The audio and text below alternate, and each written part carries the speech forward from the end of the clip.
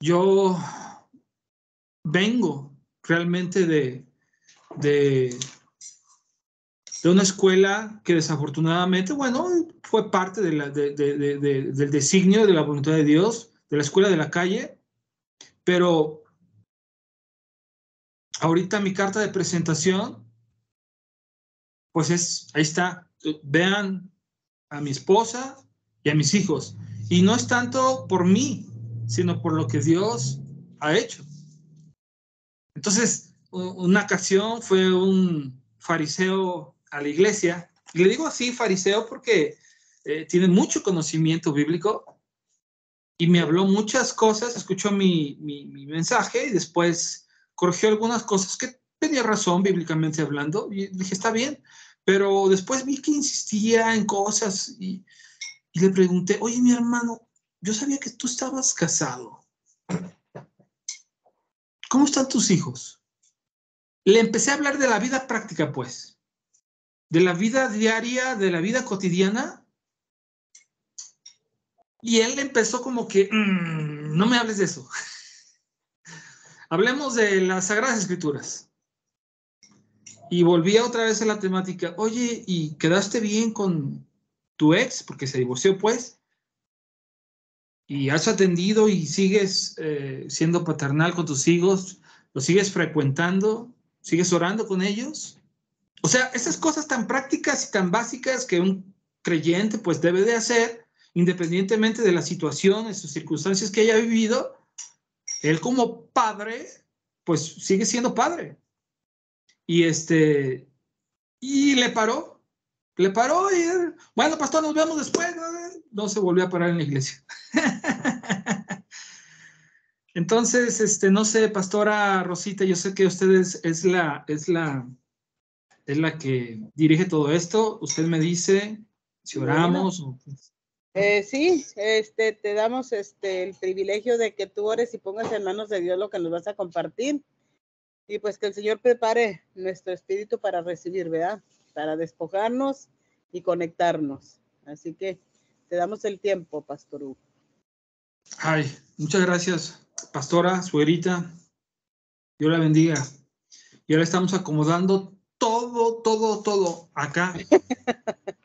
amén, amén esta sencilla casa, pero con mucho amor. Créame que va a ser un tiempo muy especial para todos nosotros, el recibirla aquí, en nuestra casa, en nuestro hogar. Ya no le llamo casa. Este, ya usted dirá y, dará testimonio de, de qué es lo que realmente vivimos nosotros aquí. Así que oremos. Padre nuestro que estás en los cielos, santificamos en esta noche tu nombre Te pedimos que venga tu reino, tu revelación, tu enseñanza, y que se haga tu voluntad, como es allá arriba, aquí, en nuestras vidas, en nuestros hogares, con los nuestros, y que pueda venir sobre nosotros, pues, el alimento o eh, lo que tú tienes para nosotros. Gracias Señor porque hasta el día de hoy tú has sido fiel. A pesar de que hemos sido infieles, tú permaneces fiel. Y tú eres fiel a tu palabra. Y gracias Señor porque tú nunca cambias. Te exalto, te adoro y te pongo mi mente, mi lengua, mi corazón en ese tiempo con mis hermanas y gracias por el privilegio que me das de, de poder hablar un poco, un poquito de, de lo grande y extenso que tú eres. En el nombre de Jesús, toma esta reunión y gracias. Amén y amén. Ah, me, me, dijo mi esposa una cuestión muy este, profunda y bueno, seguramente van a escuchar motos, ladridos. Yo casi siempre que me conecto con alguien, gente que pasa vendiendo churros, pan. Y aquí tenemos un león pequeñito, se llama Blue. Y no tan solo eso, ¿no? Eh, hay muchos animalitos aquí, en esta tierra, en esta parte de la región. Ya estaremos en una zona más tranquila, estamos orando por eso.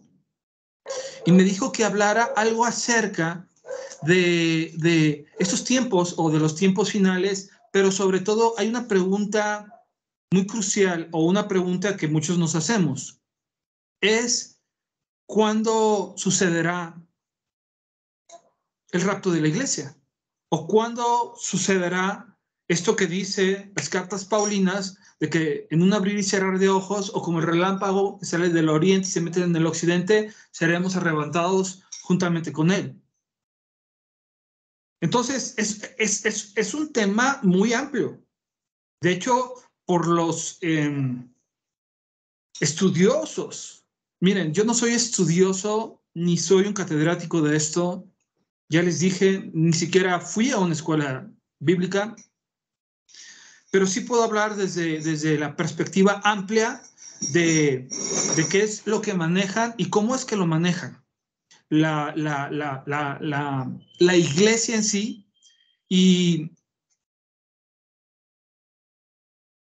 y juntamente con todos los acontecimientos que están eh, sucediendo, eh, pues primero quisiera dar un, bueno, quisiera leer una escritura que se encuentra en Primera de Corintios 15, versículo como del 50.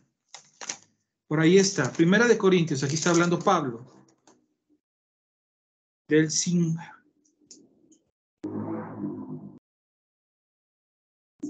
Sí, el 50, del 50 al 52.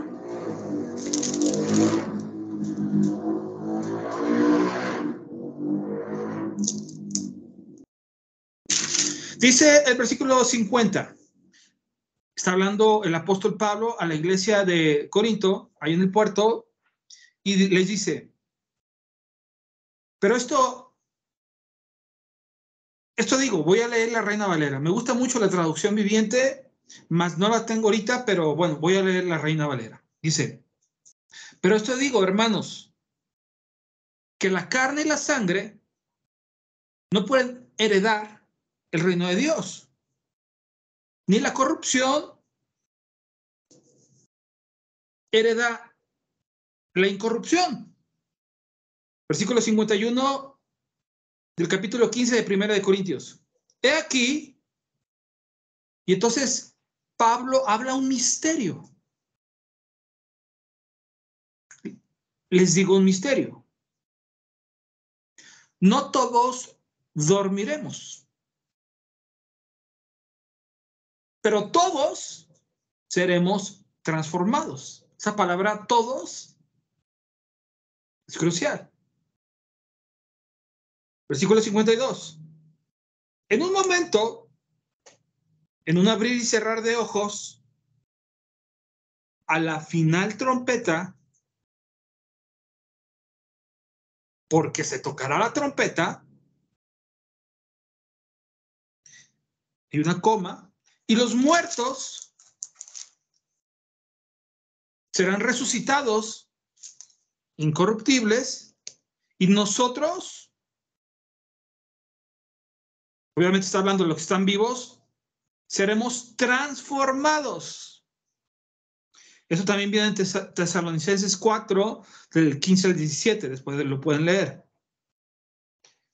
Porque es necesario que esto corruptible se vista de incorrupción y esto mortal se vista de inmortalidad.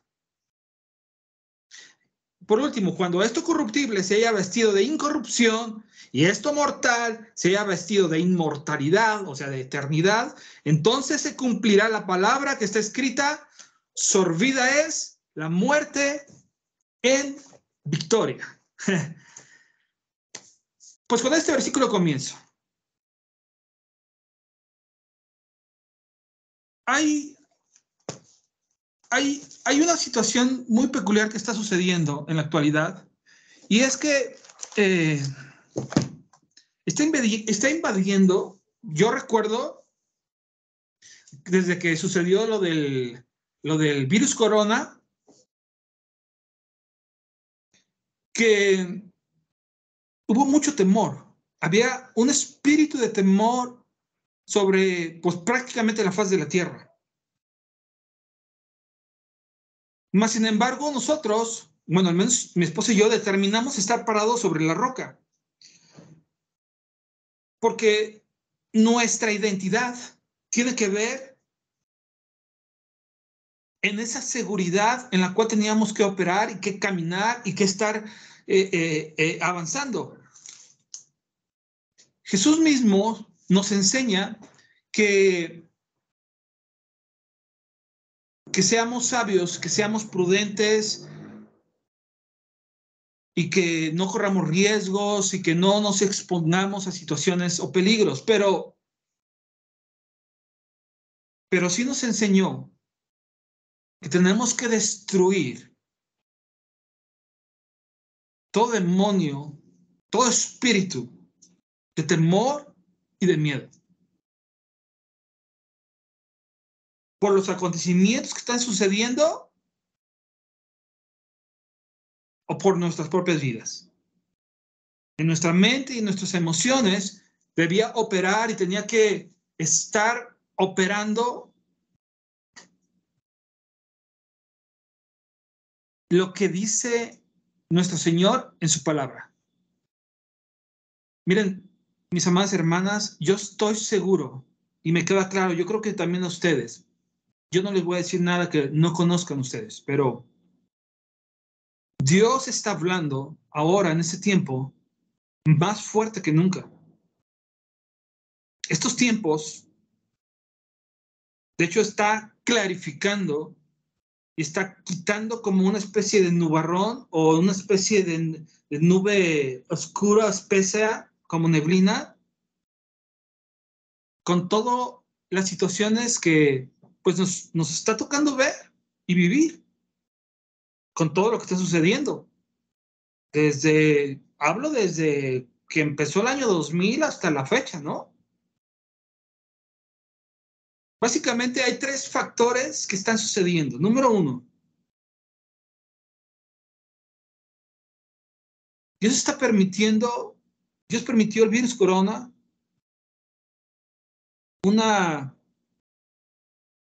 cuestión de enfermedad que nunca había sucedido en la historia de la humanidad a nivel mundial. Como Dios está permitiendo esta situación que no había pasado en 50 años de que Israel haya sido atacado de la manera que fue atacado, en día de reposo,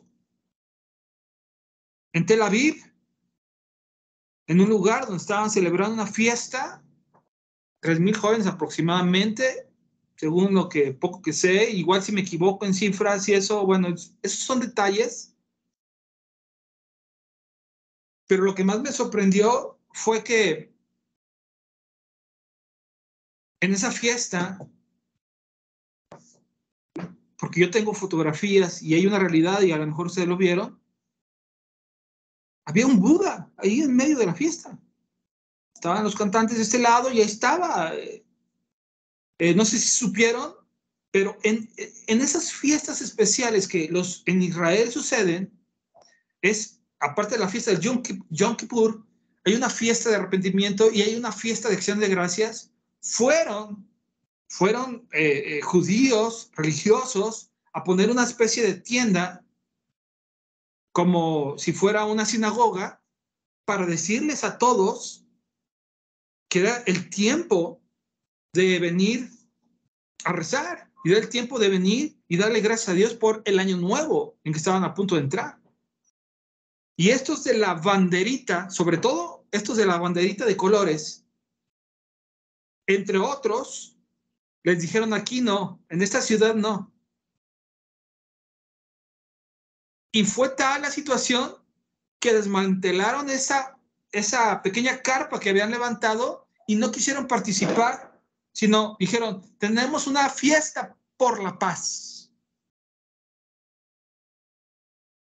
De tal manera que los religiosos pues tuvieron que irse ante, ante pues ya estas, estas cuestiones ya, ya más agresivas de todo este grupo de personas. Y esa noche, pues era un viernes 6 para amanecer el 7, día sábado, fue la intrusión de este grupo terrorista político que maneja muchas cuestiones, llamado Hamas, ustedes lo saben, matando a diestra y siniestra, que ahorita, hoy en día, está ocasionando una situación que está, después de lo que pasó ayer, de la cuestión del hospital y todo ese tipo de cosas, están pasando cosas muy, muy claras, muy precisas. Está, estamos en tiempos donde el que conoce los tiempos y los sazones puede saber cuándo la, la higuera está floreciendo. Entonces, el primer punto que estoy hablando es que Dios está permitiendo todo esto. El pueblo de Dios, que es Israel, pues, por ser su pueblo, él no puede permitirse ciertos lujos, ciertas cosas.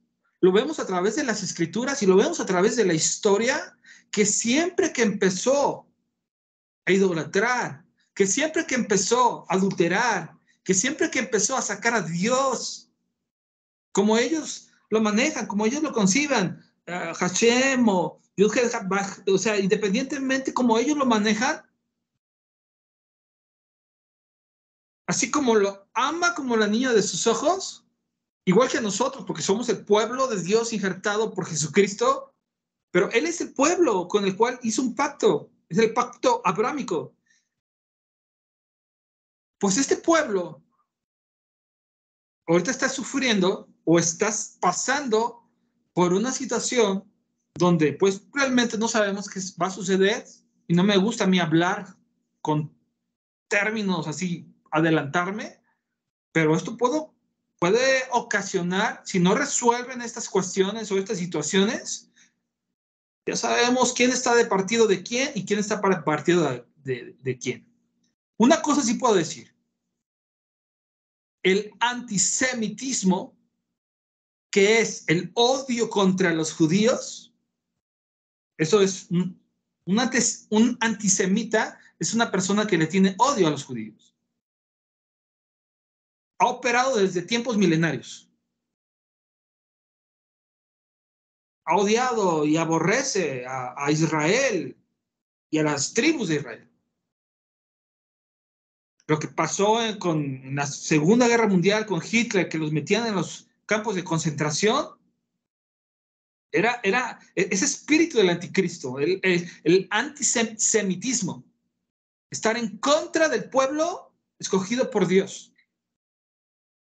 Incluso el cristianismo durante centenares de años perseguía a los judíos porque como fueron los judíos los que crucificaron a Cristo, pero detrás del antisemitismo hay un hay unas hay un esquema político religioso donde la intención de los que están manejando estas cuestiones es meter bajo su gobierno, bajo no democracia, sino más bien como una especie de control, como pasa en, todos esos países árabes. Esos países árabes no son democráticos como los nuestros, como Estados Unidos, aquí en México, en Occidente.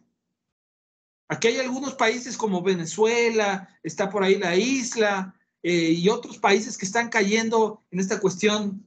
Y no estoy hablando, bueno, ¿para qué hablo lo que ya conocen las noticias? Pero sí es importante hablar esta parte de que donde, donde hay antisemitismo, donde hay odio contra los judíos, esos países o esas naciones y, la, y toman el control sobre eso, se vuelven naciones que someten a su pueblo, o someten a esa nación, o someten a esos que conforman esa población.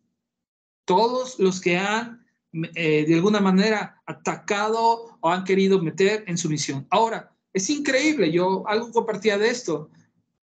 Oye, el pueblo árabe, toda la descendencia, y lo saben ustedes, eh, viene de Ismael, pues, la hija de la esclava de Agar.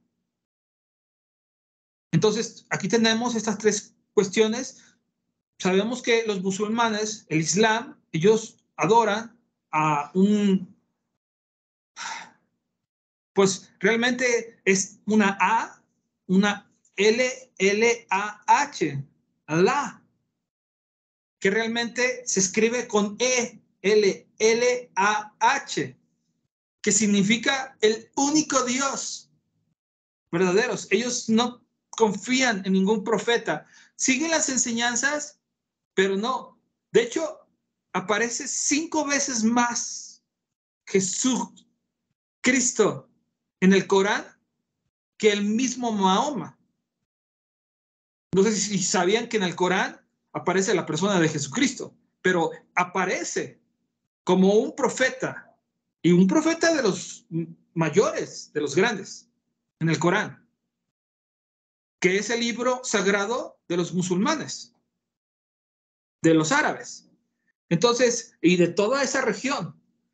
Estos pequeños grupos radicales, ISIS, Al-Qaeda, Hamas, eh, eh, eh, mm, todos esos grupos que oímos que son, son grupos terroristas de, que usan, Satanás, el anticristo, el espíritu, que usa precisamente para estar atacando el pueblo santo de Dios, Israel, y que por medio de él, a través del linaje de David, iban a ser nuestro Salvador, el Mesías. Entonces, primero, ¿de qué estoy hablando?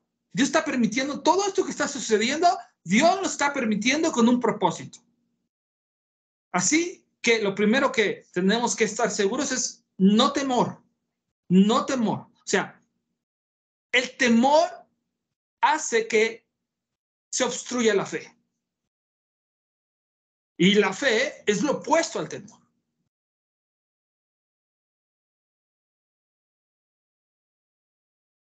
Pero Dios está permitiendo ver a través de todos estos eventos, de la guerra, del virus corona y de todas estas cuestiones, lo frágil que el hombre es. Inclusive, aunque digan lo que digan los israelitas o el pueblo de Israel, los frágiles que fueron y cómo entró toda esta bandada para provocar hasta hoy lo que está sucediendo allá en Medio Oriente. Lo segundo, la tierra está gimiendo.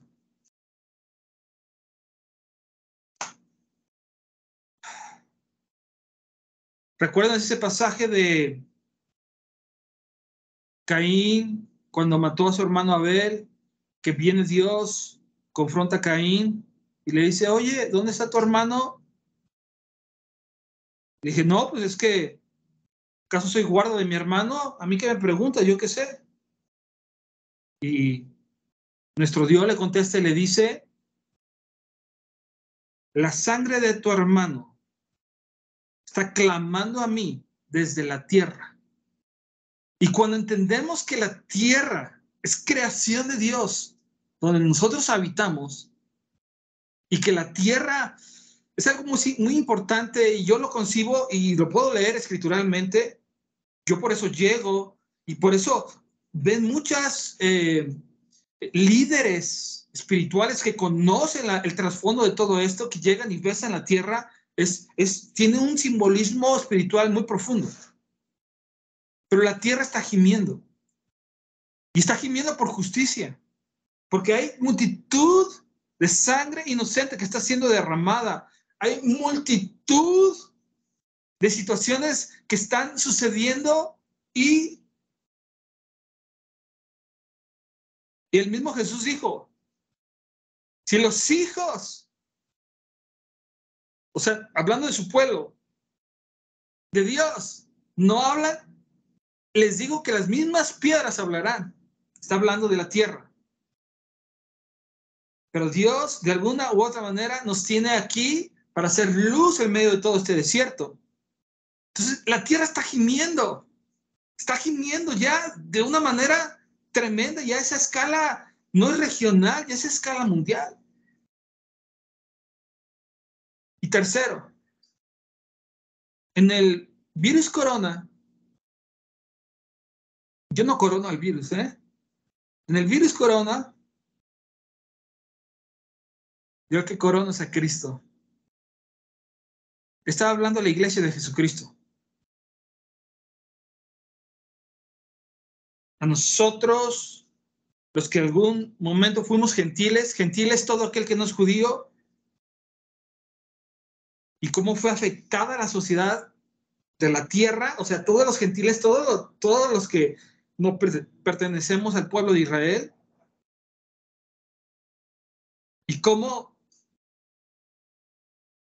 él usa incluso esta situación como pasó en el virus corona, como ahorita está pasando, bueno, ahorita está en una cuestión que es Israel contra un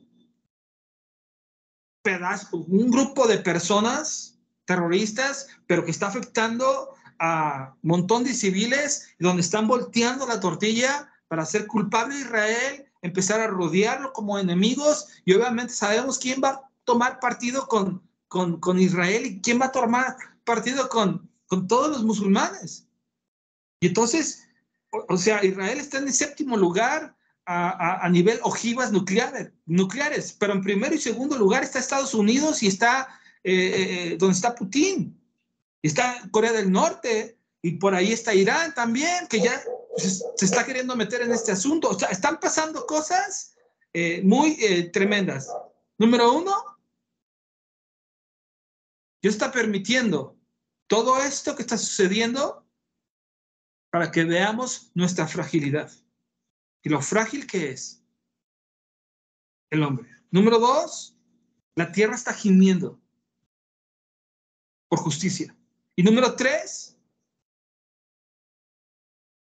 en este instante le está hablando no tan solo al pueblo de Israel, sino también a nosotros como la iglesia gentil, que hemos sido redimidos por la sangre preciosa de nuestro Señor Jesucristo. ¿Qué nos está hablando? Que estemos orando, que estemos velando, que estemos vigilando. Esta palabra yo la tengo muy clara, porque obviamente yo lo viví. Estad sobrios y velad, porque vuestro adversario, el diablo, como león rugiente, anda buscando a quien devorar, pero es, estar sobrio en, en el ámbito espiritual es no beber del vino de la gran ramera. Babilonia, la gran ramera, no es Babilonia esa que pasó, ni es este, Italia allá con Roma, donde está el Vaticano. Babilonia en sí, desde mi perspectiva, es esa, es es el, lugar, eso que está proyectando y que está haciendo el enemigo a través de la globalización, de cumplir la escritura, una sola religión, un solo gobierno, una sola moneda, de globalizar todo el planeta Tierra.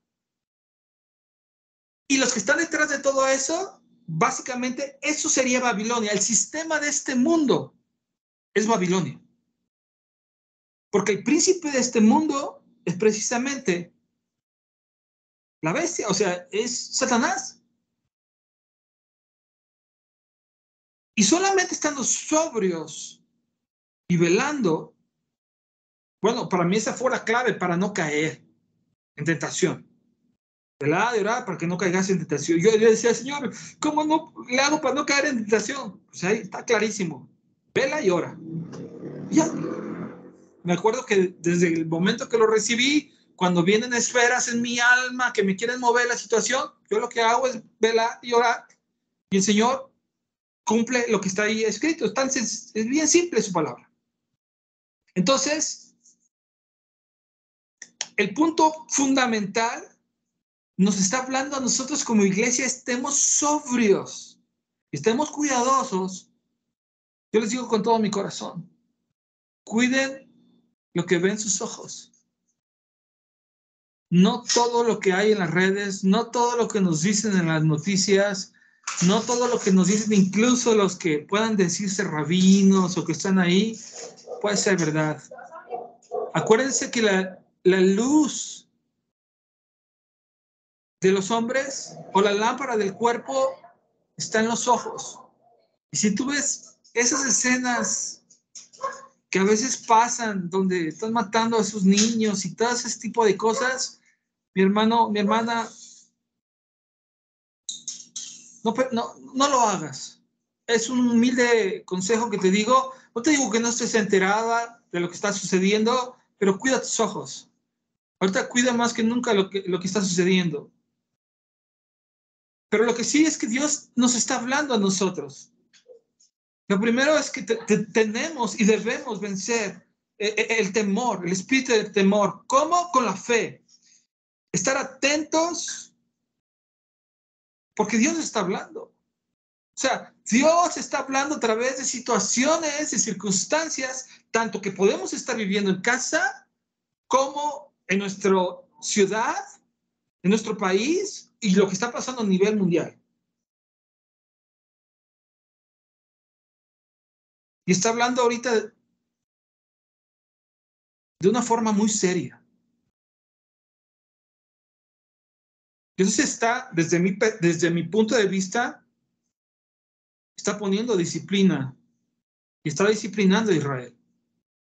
Israel no puede, no puede darse ciertos lujos que a veces los gentiles hacen. Porque es su pueblo, es su nación. Y están empezando a hacer cosas que en el pasado te vas a Primera de Reyes, Segunda de Reyes, o a, leer el Antiguo Testamento y ves cómo fueron invadidos y cómo fueron conquistados por empezar con el adulterio, empezar adulterio espiritual y adulterio físico. Entonces, hay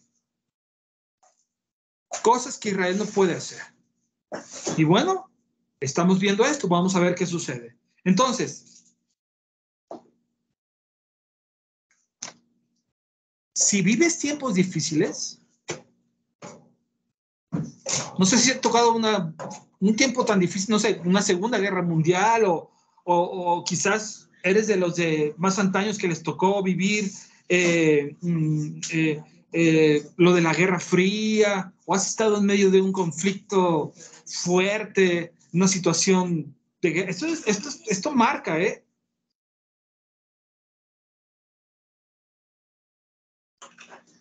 La Biblia habla de pestilencias, tiempos oscuros, de persecuciones, de matanzas. Y todo esto tiene que ver con la palabra temor. Nosotros tenemos que estar bien parados en la palabra fe. ¿Fe en qué? En lo que Dios dice, en lo que Dios ha establecido. Lo que Dios más nos está hablando en este tiempo es nutrir nuestra fe, nutrir nuestra fe, nutrirnos de estas crisis que estamos viviendo. Si tú alimentas tu fe, tus miedos, tus temores, las situaciones que están pasando, que nosotros no podemos controlar ni hacer nada, o sea, van a morir en ti, aunque estén ahí. Y si hacemos lo contrario, si alimentamos nuestros miedos, nuestra fe morirá de hambre por no estar sobrios comiendo el alimento adecuado. Y la tendencia natural de nuestra carne, de este cuerpo corruptible, como ahorita lo leímos, es alimentar nuestros miedos. Nuestra carne le gusta alimentar nuestros miedos.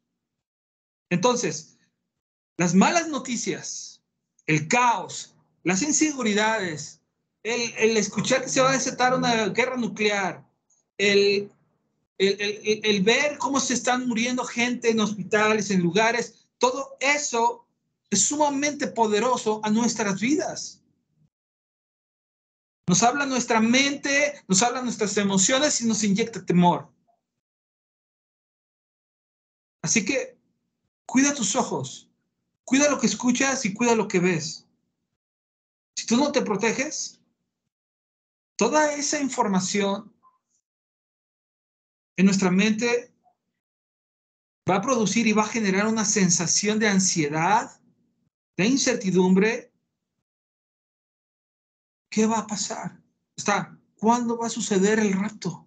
Ya viene pronto el Señor por todas las cosas que están pasando. De, eso iba a hablar, ya me comió el tiempo. Pero mire, hay tres posiciones.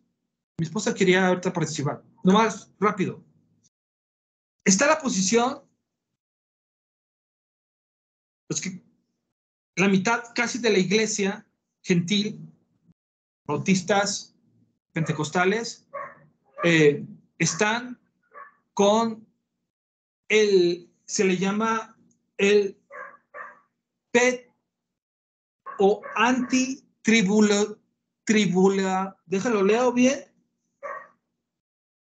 P-tribulacionismo, o sea, que se va a ir antes de que venga la tribulación que este evento del rapto va a suceder antes de la tribulación. La segunda posición teológica, que lo practica aproximadamente una cuarta porción de la iglesia, son como, está dividido en, en tres partes aproximadamente.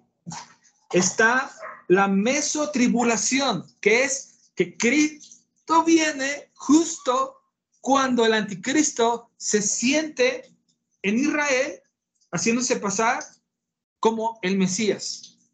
Y está la otra posición, que es la post-tribulacionista, que es que nosotros, los cristianos y también los judíos mesiánicos y los judíos no mesiánicos, van a pasar la tribulación. O sea, son tres posturas que hay y a través de las cuales se han dicho y alegado muchas cosas. Y aunque es cierto, hay una Paulina que dice que Dios no nos llamó para ira, sino para protección. Yo lo que eh, a grosso modo estaba viendo es, pues esta, esta, esta idea de ah, tan medular. Miren, cuando yo leí Daniel, Apocalipsis, algunos textos de Isaías, pues me fui a Mateo 24 y me fui directamente, eh, está en Mateo 24, cuando lo que habla, eh, Marcos 13 y Lucas 21 es básicamente lo mismo. Y habla de los tiempos del fin. Y en el libro de Apocalipsis, que significa la revelación de Cristo, habla de siete sellos, de siete trompetas y siete copas de ira. O sea, 21 juicios. Lo que sí leí es que los juicios van en contra del anticristo y del sistema de este mundo. No van para los hijos de Dios o para el pueblo de Dios. Estos juicios que están emitidos, que, que leemos en Apocalipsis y que lo lo comparamos con Daniel, con los profetas menores, con Ageo, Zacarías y, muchos otros textos, vemos que estos juicios van directamente contra aquellos que no quieren saber y que han hecho a, a Dios a un lado. Está terrible. Esta película que sacaron de lo que sucede con los órganos de los niños y la trata de blancas, o todo lo que sucede con las cuestiones de cómo en nuestras ciudades ya el tipo de drogas que existen, los que están matando aquí en mi ciudad, cada tercer día matan a un joven, aquí en mi, aquí en mi, en mi colonia. Primer sello, obviamente tendría que leerlo, no me alcanza el tiempo, pero es muy profundo. El primer sello habla de guerras. El segundo sello habla de conflictos, si lo lees detenidamente, de conflictos internacionales. El tercer sello habla de hambre o de hambres, juntamente con, con, con, con con, cuestiones de guerra y otras cosas que mezcla ahí. Tendríamos que leerlo. Todo esto viene en Apocalipsis del capítulo 4, 5 en adelante. Cuarto sello habla de terremotos. Quinto sello habla de persecución. Sexto sello habla de eclipse de sol y de las lunas de sangre o las lunas rojas. O sea, el, primer sello habla de un caballo blanco que tenía un arca, está hablando de guerras. El caballo, el segundo sello, que fue destapado por Cristo Jesús. Recuérdense que Juan fue y vio todas estas escenas de lo que iba a pasar. El, caballo bermejo, que es rojizo, eh, le fue dado el poder para quitar la paz. El tercer sello es un caballo negro, así lo describe la escritura. Tenía una balanza en sus manos y, está hablando precisamente de la hambre y de todo esto que tiene que ver con las transacciones comerciales. El cuarto caballo es amarillo y este se llama muerte y el Hades. Dice ahí, escrituralmente dice que la muerte y el Hades les dio el poder, Dios les da el poder para matar con espada, con hambre, con mortandad y con fieras. El quinto sello está hablando de los mártires, de que va a haber una persecución. El sexto sello Básicamente es la inauguración de la tribulación y el séptimo sello es un silencio de media hora que dice claramente hay un silencio. Y de ahí pasamos a las otras siete juicios de Dios, que son las siete trompetas. Que va a haber granizo con fuego y sangre. La segunda trompeta habla que la décima parte del mar o del agua del mar se convierte en sangre y mueren, y en los lagos también, y mueren muchos animales acuáticos y también terrestres porque bebían de esa agua.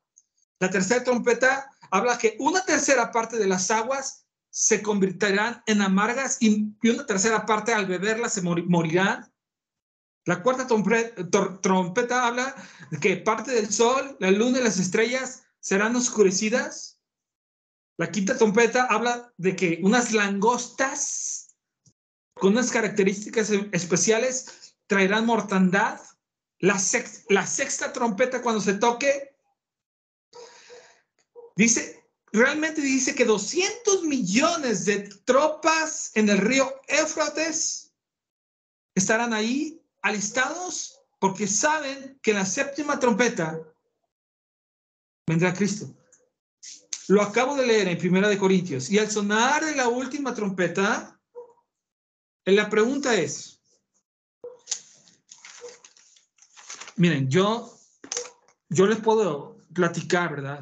Entonces, si nos vamos a quedar, yo estoy hablando, miren, de los sellos, si yo les ya hablo guerras, ya, ya, yo creo que ya, ¿no? O sea, conflictos internacionales, ya, ahorita lo estamos viviendo, ¿no?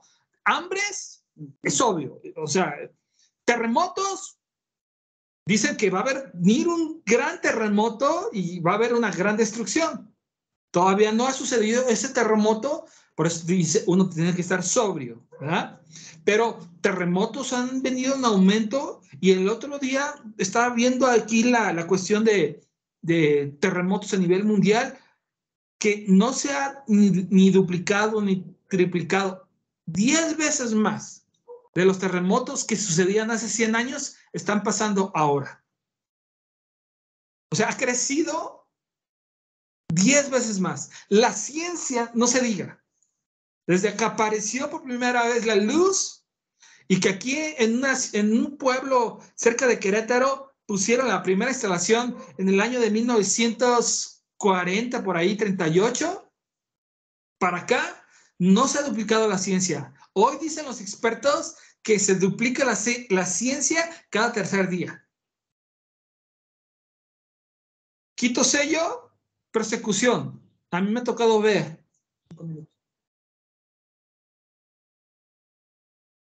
No tan solo pastores, pero también sacerdotes, que los han metido a la cárcel por hablar la verdad, ahorita especialmente con la cuestión de la identidad de género. y han sido encarcelados. Y el sexto sello, que se oscurecerá, ¿no? Y que los tiempos se acortarán. Hay muchas cosas muy interesantes, me quedan cinco minutos, pero todo tiene un sentido cuando leemos la Biblia de una... Acuérdense que la Biblia es un solo libro. Y tú y yo estamos formando parte de ese plan. Estamos en ese libro. Estamos, ¿dónde está mi Biblia? Aquí está. Estamos en este libro donde somos copartícipes de todo lo que está sucediendo. Y nosotros, al tener estas sagradas escrituras en nuestras manos y al conocer los tiempos y los razones, realmente el temor deja de existir. No hay temor. Al contrario, hay fe, hay esperanza. Hay muchos que ni siquiera son cristianos, que se están preparando con búnkers, que se están preparando con cuestiones de semillas, o sea, ni siquiera conocen la, o sea, no, no, no, no son religiosos, pero ellos conocen que va a venir una cuestión de hambre. Y no tengo ya el tiempo para poder desglosarles a grosso modo las cuestiones que han de suceder o de alguna manera las que yo he visto, creo. Puedo estar equivocado, recuerden. Al que tenemos que seguir es lo que dice la palabra, no lo que dice un hombre. Yo les digo de mi punto eh, de vista y esta cuestión del temor y de lo que está sucediendo en la actualidad. Permítanme. Pero es que en Mateo 24 viene esta cuestión de los sellos que vienen en Apocalipsis y que de alguna manera creo que ya sucedieron o, están sucediendo algunos. Y en 1 de Corintios 15 lo acabamos de leer y al sonar de la séptima trompeta los muertos en Cristo resucitarán primero. Entonces es ahí donde yo me involucro o donde yo caigo en la cuestión esta de que de alguna forma los juicios de las trompetas caerán, pero sobre el sistema de este mundo, Babilonia. Recuerden, Dios tiene que purificar. Voy a terminar, ya estoy terminando. Al final de los tiempos nada más va a haber dos casas. Va a estar la casa de oración. Jesús Cristo dijo, mi casa será llamada casa de oración para todos los pueblos y va a estar Babilonia la grande, la madre de todas las rameras. Entonces, va a haber dos casas. No va a poder ver gente en el medio. O eres de la casa de, oración o eres de los que se van a poner la marca de la bestia para poder comprar y vender. Cuando venga el anticristo, el antimesías, y diga paz y seguridad y ponga orden a todo este desorden que está pasando. Entonces, en Babilonia, la gran ramera, la madre de todas las rameras, de ahí, él está sacando un vino que de alguna u otra manera está embriagando a las naciones. Tiene que pasar dos eventos antes de que Cristo venga, sea que sea antes de, antes de los sellos o, como tú lo hayas concebido, como el Espíritu, el Espíritu Santo te va a llevar a toda verdad, a toda justicia. Pero lo primero es que tiene que ser toda la tierra predicada, esta santa palabra a cada rincón de este país. Acabo de ver hace tres meses eh, eh, tres casas misioneras de las más grandes a nivel mundial y falta nada más el 8% de la población mundial para terminar de llevar la palabra a todo pueblo, raza, lengua, tribu y nación. Y lo otro que tiene que pasar es la gran apostasía. Y la gran apostasía va a suceder a causa de los falsos profetas, de los falsos maestros y de los falsos cristos. Y van y se van a desviar los va a desenfocar. Y entonces, vendrá el fin. Así dice Mateo 24. Pero independientemente de esta cuestión de que si somos pretribulacionistas, medio que vamos a ser raptados a, la mitad de la tribulación, o sea, a los tres años y medio, cuando Satanás, el anticristo, se quite la máscara y él haga un ídolo y digan, adórenme a mí, porque yo soy Dios, entonces se darán cuenta los judíos que fueron traicionados y entonces vendrán los siete, las siete copas de la ira, que será un, horror. A tal grado que dice la Biblia que los días serán acortados. Independientemente de lo que Dios te haya hablado, lo que siempre les digo es que ni siquiera yo soy dueño de que si mañana voy a despertar. Y que hoy es el único día que tengo para ponerme a cuentas con el Señor. Ahora, es interesante esto. Dice, si tú me preguntas, pastor, bueno, ¿tú crees que vamos a pasar tribulación? Ya las, las tribulaciones que tú has vivido en tu vida han sido las que más han provocado que te acerques a Dios. Cuando has estado en esa sala de hospital, cuando has tenido esa riña con, con no sé, con tu pareja o esa riña con tu familia, cuando no has tenido ese recurso que necesitas o cuando no has tenido para comer, cuando a mí me sucedió, cuando pasas esas tribulaciones es cuando más buscamos al Señor.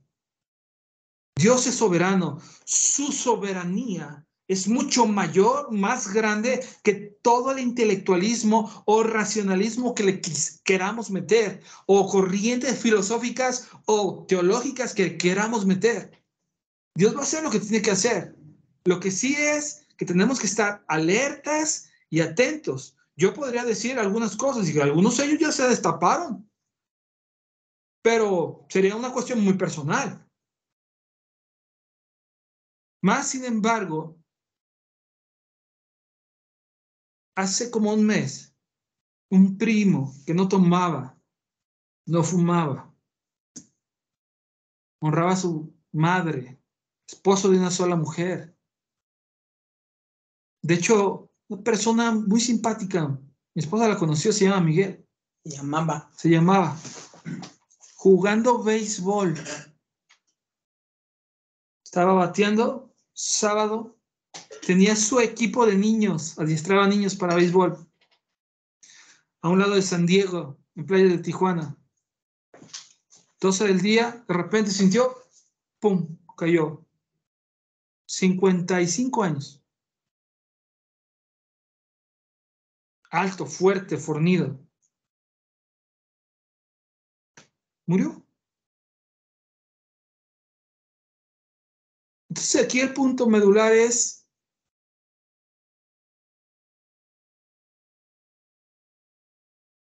sé que están pasando muchas cosas a mi alrededor, pero yo estoy en paz con Dios. Y en la iglesia el domingo les dije, ¿y estás en paz con los tuyos? Como le dijo el profeta, rey. Arregla tu casa. Ordena tu casa. Ordena todos sus pendientes que tienes. Ordena todo aquello que tienes que ordenar. Porque a la verdad, este periodo y corto lapso de tiempo que tenemos aquí en la tierra, independientemente de lo que, como Dios quiera operar, nosotros tenemos que estar bajo ese resguardo. Y si llegásemos a pasar por alguno de estos juicios, como en la tierra de Gosén, a nosotros no nos tocará, porque el juicio va en contra del anticristo y sus seguidores. Mis hermanos, se me acabó el tiempo, déjenles paso a mi esposa Puedo ampliar un poco más, pero realmente es un tema muy profundo. Tendría que irme versículo por versículo, sacar a Zacarías, sacar a, Daniel, sacar eh, el libro de Apocalipsis, leer Mateo 24, leer Mateo 25. Si quieren saber lo que quiere la iglesia, lo que quiere Cristo que estemos haciendo en este tiempo, lean Mateo 25. Esas tres parábolas hablan de lo que la iglesia tiene que estar haciendo en este tiempo. Pero se me acabó el tiempo. A mi mamá, a mi mamá. Ah, Suerita, dice que... Ay, muchas gracias, Pastor Hugo, tremenda palabra. El Señor sabía de que teníamos necesidad muy clara, muy explicada, muy oportuna. Que Dios te bendiga y te siga dando ese entendimiento y esa sabiduría. Te agradecemos tu participación. Yo sé que viene de parte del Señor. Así que atesoramos lo que el Señor nos ha hablado esta noche. Que Dios te bendiga y muchas gracias. Ahí está la señora. Ahí viene la ayuda idónea. Pues gracias, pastor. Muy amable porque tu explicación fue muy clara y